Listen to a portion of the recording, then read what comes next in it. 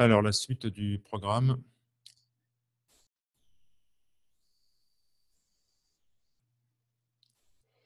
Euh, voilà. OK. Alors, le mot du glossaire. Alors ça, on en a déjà parlé, donc on va voir si les, anciens ont suivi, si Jean-Jacques et, euh, Jean-José ont, bien suivi. Je, risque de vous interroger, attention, attention. Voici le mot du glossaire. Il s'agit du mot bémol. Alors qu'est-ce qu'un bémol?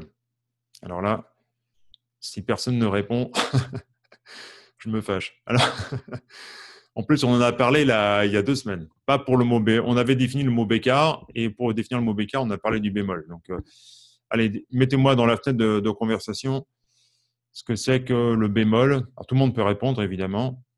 Hein, si vous pouvez répondre, qu'est-ce que c'est qu'un bémol? Et à quoi ça sert surtout? Ça, c'est vraiment quelque chose que, qu'on voit énormément dans les partitions euh, si on ne sait pas ce que c'est qu'un bémol, là, on va être un peu largué. Hein. Il faut vraiment, euh, savoir ça. Euh, ok, ben voilà, Patrick a déjà répondu, super. Je m'attendais à une réponse de Jean-Jacques et de Jean-José, mais, alors est-ce que, est que Jean-José Jean, Jean, et non Jean-José et Jean-Jacques veulent répondre aussi? Ah, ils ont vu la réponse peut-être. Ok, allez. Donc c'est ça, une note diminuée d'un demi-ton. Très bien. Alors, la, petite histoire sur le bémol, est-ce que vous vous rappelez, euh, les anciens, d'où ça vient le, bémol? Pourquoi on dit bémol? Bémol. Ça sonne pas très français, bémol, si? Si, si, ça vient du français. Alors, bémol, pourquoi bémol? Alors, euh, B égale B, dit Jean-Jacques, et euh, Jean-José, pardon, effectivement. Très bien. Et pourquoi molle? Pourquoi molle? En fait, il y a une petite histoire euh, avec ça. Je vous la rappeler. Molle égale diminué, oui, un peu, enfin pas tout à fait, mais. Alors, en fait, l'idée du, bémol, vais refaire un petit dessin, c'est qu'en fait, à l'origine, les, euh, enfin, à l'origine, quand on chantait des notes, on faisait la la la ou on chantait les paroles et c'était tout. Et puis un, jour, euh, euh, quelqu'un s'est dit, bah, ce serait pas mal de, enfin en tout cas, on l'a vu d'ailleurs hein, dans la dans la dans le chapitre sur la sur la musique baroque, sur la pardon, sur le chant grégorien, excusez-moi. Bonsoir Jean-Louis. sur le chant grégorien, c'est à ce moment-là qu'on a commencé au VIe siècle après Jésus-Christ, on a commencé à, mettre des noms de lettres pour désigner les notes, plutôt que dire euh, refais-moi cette euh, note là, tu sais, quand tu faisais ça, puis à un moment donné, tu montais la note et puis tu, tu faisais un son qui faisait à peu près ça, vas-y, rejoins. Bah, alors, à un moment donné, il faut bien leur donner des noms. Et donc, les, noms qu'on a donnés euh, pour ces, notes, c'était les lettres alphabétiques. Donc, c'était A, B, C, D, E, F, G.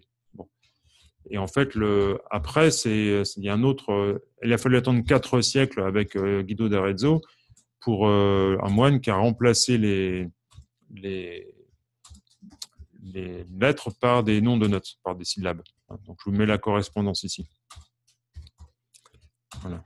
Donc, c'est un système qui est encore utilisé dans de nombreux pays. Hein. aux États-Unis, par exemple, maintenant, ils commencent à, à, solfier les notes avec Do, Ré, Mi, Fa, Sol, La, Si, qu'ils appellent d'ailleurs Do, Ré, Mi, Fa, Sol, La, Ti mais euh, c'est le même principe. Euh, mais il y a encore beaucoup de, pays qui, euh, qui utilisent ABC, DEFG, en Allemagne par exemple.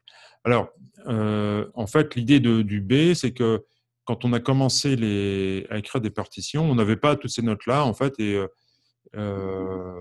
on, avait par contre, enfin, je veux dire, on n'avait pas encore toutes les notes. on avait effectivement la, si, do, ré, mi, fa, sol, euh, et, le truc, c'est qu'il y a, y, a y a un intervalle qu'on supportait absolument pas. On n'aimait pas du tout cet intervalle. C'était un intervalle entre fa et si, parce que c'est pas très, enfin, mélodiquement, c'est pas terrible. Je vais vous le faire.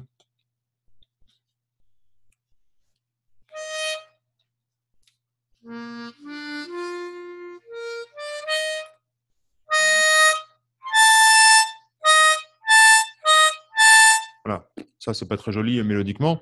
Donc ça c'était tellement moche qu'il lui avait donné un nom, c'est le Diabolus in Musica, le diable en musique. Et du coup, c'était quelque chose qu'il voulait absolument éviter. Quoi. Il se disait, bah oui, mais quand on veut jouer cet intervalle-là, entre fa ici, comment on peut faire? En fait, il s'est rendu compte en chantant les notes que, bah, en fait, il y a un autre, un autre, euh, une autre note qu'on pouvait obtenir entre le la et le si, et c'était la note un peu diminuée d'un demi-ton. Donc, au lieu de faire un, au lieu de faire un si, on peut le diminuer d'un demi-ton, ça fait. Et du coup, ça donne une autre note. Et en fait, comme ça remplaçait le si, donc en fait, ce qu'ils ont fait, c'est qu'ils ont, ils ont pris donc le, si qui, euh, qui est donc la note, la, la, note B à l'époque. Il se dit, bah, on va faire, euh, normalement c'est B, et ben on va, on va avoir deux B en fait. C'est-à-dire que euh, les deux notes se sont appelées B. La première, celle qui permettait d'avoir cette note-là qui, était, qui sonne un peu faux avec le si à l'époque, hein, maintenant ça ne nous gêne plus autant, mais à l'époque ça, gênait beaucoup. En fait, on a, dessiné le si comme ceci. Voilà, tac. Donc euh, un B carré. Et puis pour l'autre B, on a fait un B rond. Ok, donc vous avez tac ici. Voilà, le B carré, donc qu'on a appelé B carré, ça donné le mot bécard en français. Enfin, c'était déjà du français, mais maintenant ça donné le mot bécard, qui est devenu ce symbole. Tac.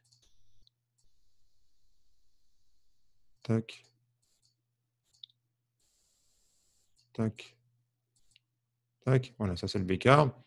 Et puis l'autre B, l'autre B, celui-ci, qui était un B rond, et on ne l'a pas appelé Béron, puisqu'en fait, l'idée, c'est qu'on s'est rendu compte que le, si euh, normal, il sonnait un peu dur, un peu durement.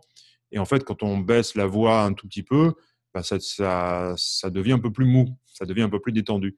Et donc, ils l'ont appelé le bémou. Puis à l'époque, euh, mou, ça se disait molle, hein, comme, euh, comme, comme, le, comme le féminin de mou maintenant, mais à l'époque, c'était molle, MOL. Et ça donnait l'oncle de bémol. Donc, il y avait un B carré et un bémol, un bémou. OK? Voilà. Donc c'est ça, ça vient de là en fait. Et alors donc le, à l'époque, c'était juste le si qui était soit euh, bécard, soit un si normal, soit un si à des milieux d'un demi-ton. Et après, en fait, euh, beaucoup plus tard, quand on a exploré de nouvelles euh, tonalités, on s'est dit, bah tiens, entre les notes, bah, entre par exemple entre le, do et le ré, bah, il y a aussi une note possible. Et puis entre le, ré et le mi, il y a aussi une note possible. Donc en fait, il y a plein de notes qu'on peut baisser d'un demi-ton. Et puis en fait, au final, on, a dit, bah, si je prends un mi, par exemple, et que je le baisse d'un demi-ton, eh ben, je l'appelle mi bémol. C'est-à-dire qu'en fait, on n'a pas mis euh, mi molle, fa molle, etc. On a mis le, mot bémol. Donc ça vient de là, en fait. Ça, c'est la, petite histoire. Voilà. Donc, effectivement, le bémol, ça abaisse une note d'un demi-ton. Et parfois, on trouve aussi, euh, ça, peut arriver, un double bémol. C'est-à-dire que si vous voyez une partition où vous avez, par exemple, un mi bémol bémol, ça veut dire mi double bémol, et ben ça, vous descendez d'un demi-ton et encore d'un demi-ton. Donc mi, mi bémol, ré. C'est en fait le mi double bémol, il sonne comme le ré. OK? Donc bémol, c'est ça, il faut retenir, ça descend la note d'un demi-ton. C'est bon pour tout le monde? OK. Ben, bravo à ceux qui ont bien répondu.